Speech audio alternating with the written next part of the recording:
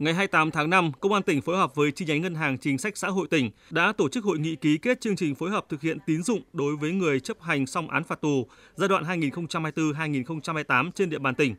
Theo đó, mục đích của chương trình phối hợp là triển khai thực hiện nghiêm túc hiệu quả chủ trương, chính sách của Đảng, Nhà nước, giúp người chấp hành xong án phạt tù và cơ sở sản xuất kinh doanh có sử dụng lao động là người chấp hành xong án phạt tù được tiếp cận vay vốn từ ngân hàng chính sách xã hội để tạo việc làm ổn định cuộc sống tái hòa nhập cộng đồng, góp phần đảm bảo an ninh trật tự, phát triển kinh tế xã hội.